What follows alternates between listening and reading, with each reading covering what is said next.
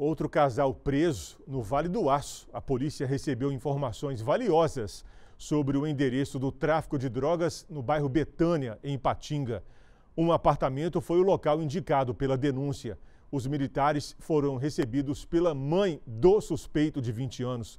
Dentro do quarto, um forte cheiro de drogas e em cima do guarda-roupas, uma bolsa com os entorpecentes. A namorada do rapaz, com a mesma idade, também foi conduzida.